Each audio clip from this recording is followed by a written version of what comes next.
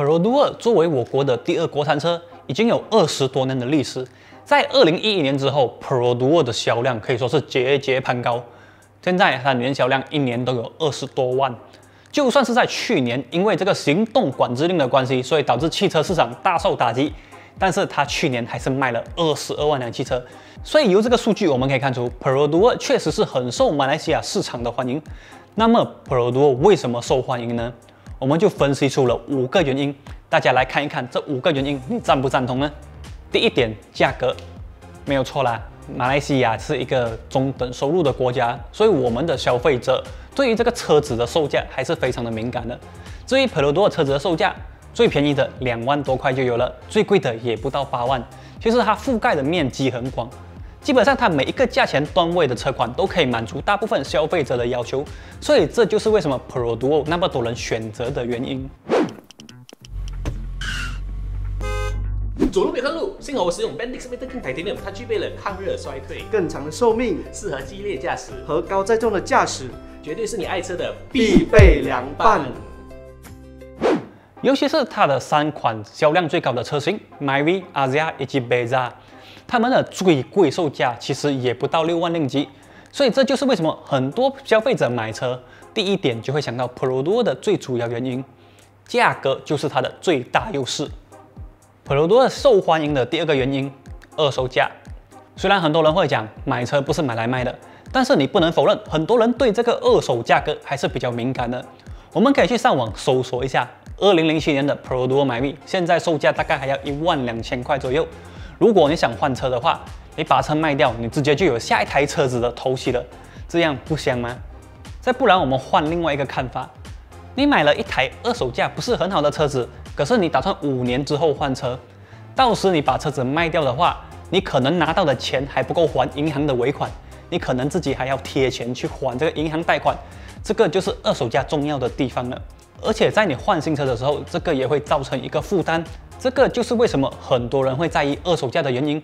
虽然有些人是不在意，但是对于在意二手价的消费者来说，二手价也是 Perodua 的其中一个强项。消费者喜欢 Perodua 的第三个原因，省油。没有听错，就是省油。虽然说我国的油价并不算太贵啦，可是对于一些时常开车跑长途，或者是跑 sales，可是油单没有办法 claim 公司的朋友，这个车子的耗油量就相当的重要了。所以对他们来说，省油的车子就是他们的第一选择，而普罗多的车子就刚刚好可以符合这个要求。其实像我以前我开的是这个格丽莎的手牙，在那个年代打满一缸满缸的燃油大概只需要五十块左右，可是我在完全 C D Drive 的情况下，一个满缸我可以开三百八十公里左右，所以可以看出这个车真的是很省油。这个也是为什么我到现在还是有一台普罗多的原因，就是因为省油。而且在高速公路行驶的话，这个车子的油耗表现会更出色。这个也是很多的油耗党很喜欢 Perodua 的原因。当然，这个也是我自己喜欢 Perodua 的原因，因为我也是油耗党。Perodua 受到消费者欢迎的第四个原因，配备。近几年 Perodua 的车款配备确实真的很有诚意，很丰富。目前它旗下还在贩售的车款，除了 L 叉之外，基本上我们都可以看到这个 ASA 先进主动安全配备。这套安全配备包含了前方撞击预警，还有自动紧急刹车等等。这个是在目前比较低价的车款上面比较难看到的东西。再来一点就是其他的配备，例如说 keyless，还有 LED 头灯组，这些我们都可以在 Perodua 的车款上面看到，而且大部分都是全车系标配。例如说 Beza 跟 Myvi 就全车系标配的这个 LED 的头灯组。我们看一些比较贵的车款，甚至都给不到这样的配备。所以说，Perodua 在配备上面的诚意，真的真的是很足够的。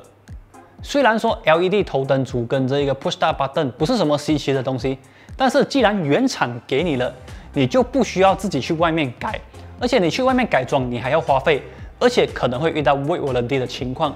所以他们给了这些配备，我觉得是好的。Perodua 车款受到消费者欢迎的第五个原因，容易维修。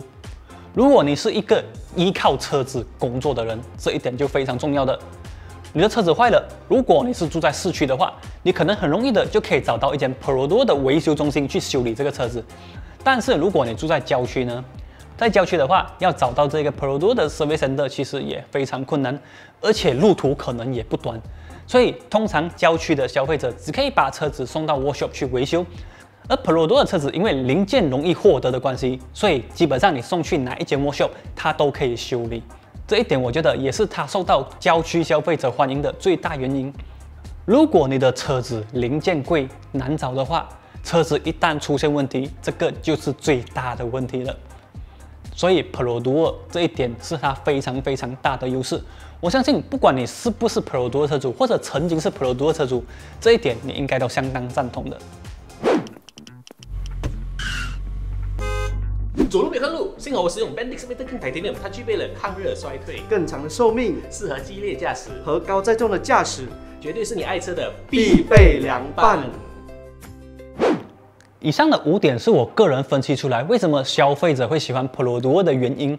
因为我也是 Pro Duo 车主，所以我对 Pro Duo 的车款会有一些了解。当然，Pro Duo 的车款也并不是说没有缺点，例如说隔音比较差一些，操控比较差一些，都是 Pro Duo 比较明显的缺点。如果今天你是一个很在意隔音、很在意操控表现的消费者，那么 Pro Duo 就不是你的最佳选择。不过我还是要说的是，天底下没有最好的车子，只有最适合你的车子。你想要什么，你自己才最清楚。所以选择对的车款很重要。像是 Pro Duo 这样，虽然它没有好的操控、好的隔音，但是它可以满足很多只在意省心省油，还有从 Point A 去到 Point B 的消费者。这样的 Pro 多已经是没有办法挑剔了。不知道各位 Pro 多车主和非 Pro 多车主对于 Pro 多有什么看法呢？你们都可以在影片的下方留言和我们交流哦。OK 啦，以上这一期就是我们全部的影片内容，记得帮我们按赞、订阅、分享。我们下一次的节目再见，拜拜。